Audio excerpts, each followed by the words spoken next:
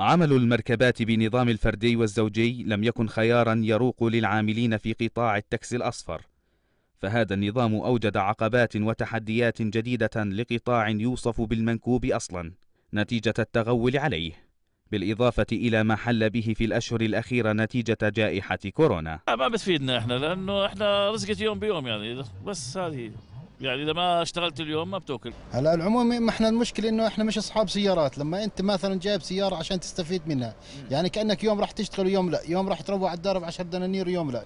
العموم أكيد الكل دي يشتغل ما أنت شايف يعني الأوضاع اللي مرقنا فيها. ما بزبط تطبق عليكم ما بزبط تطبق علينا أنت شايف الوضع. يعني ما بنقدر نشتغل اليوم وبكرة نعطل نشتغل يوم ونعطل يوم. يعني طبقت على العموم كبداية بس والله ما استفدنا.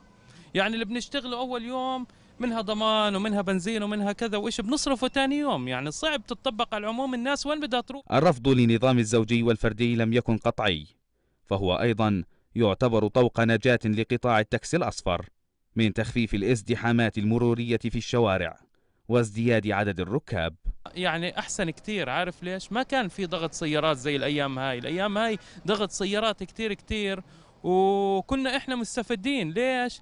الفردي لما يكون ممنوع يطلع بيطلع بتكاسي. هسه صار الكل يطلع بسيارته الكل يعني ولسه بكرة راح نصادف أزمات كثير والله يعني بدك الناس تتحرك يعني شو بدك تعمل يعني؟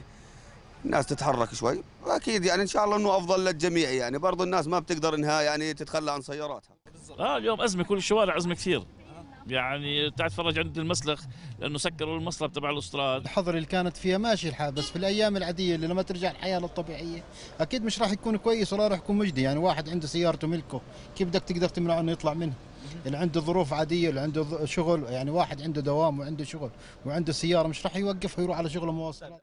يعد تطبيق آلية الزوجي والفردي في المملكة من الخيارات التي طالما تم وضعها على طاولة الحكومة.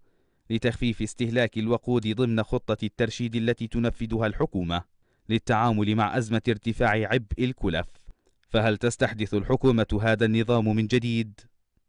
أسامة بليبلي الحقيقة الدولية